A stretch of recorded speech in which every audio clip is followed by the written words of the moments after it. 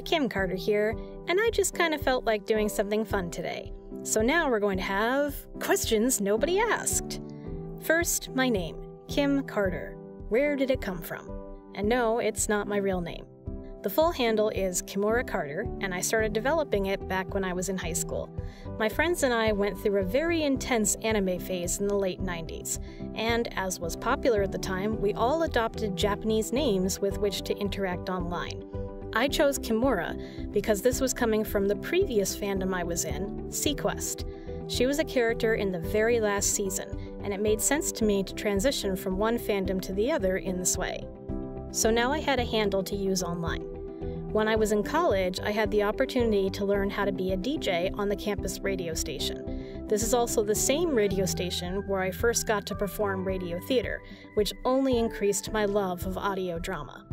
Anyway, I decided I wanted a DJ name to use and shortened Kimura to just Kim. But then I decided I needed a last name to go with it.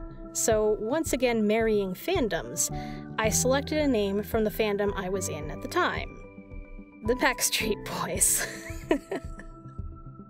Nick Carter gave inspiration to Kim Carter, and that's who I've been online ever since.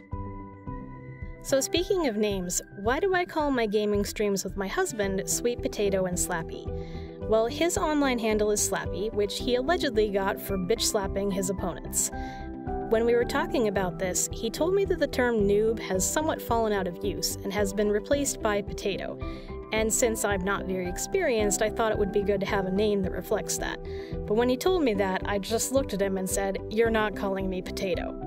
And then he suggested, How about sweet potato and slappy? And I said, Great! Finally, in our answers to questions no one asked, who writes my scripts?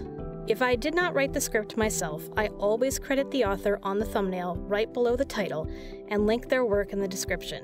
So, if there is no author on the thumbnail, that means I wrote it myself. I also do all the editing, a skill I am still actively learning.